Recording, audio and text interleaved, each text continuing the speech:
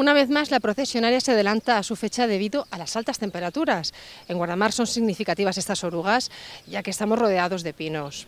El ayuntamiento ya se ha puesto en marcha para su eliminación, pero aún así, precaución, sobre todo los niños y los animales.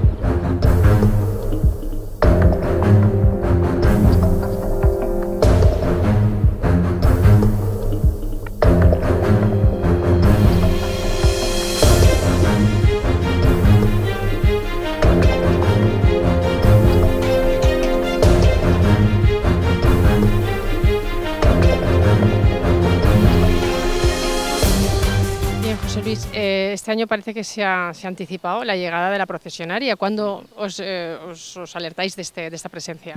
Bueno, lleva, produciéndose así eh, los últimos años. la verdad que, los efectos del cambio climático sí se hacen evidentes en, situaciones como esta. la procesionaria, el tratamiento que realizamos, llevamos ya haciéndolo unos años, es preventivo.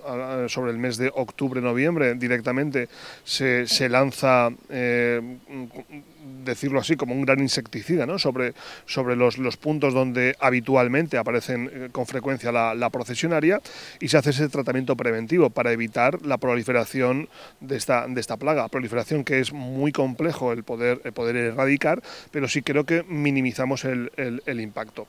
Sí es cierto que, que, no la esperábamos tan pronto, pero una vez que han terminado los episodios de lluvia y enseguida llegan pues, unas temperaturas eh, por encima de los 20 grados, eh, estos, estos bichitos pues, salen como como, agua de mayo, ¿no? Y la verdad que en ese sentido preocupados. Preocupados porque eh, conocemos cuáles son las, afecciones que, provoca, no solo en, el ser humano, sino también en las mascotas ¿no? y en seres vivos en, en general. Decirte que ya se llevan durante las últimas dos semanas y media haciendo tratamientos de extracción. Directamente eso se realiza con, con las bolsas. Eh, eh, una empresa especializada en tratamiento de plagas es la que utiliza lanzas pues, para llegar a, esta, a, estas ramas. Las ramas se cortan, se, se captura esos nidos de procesionaria y se actúa eliminándolos de manera, de manera eficaz.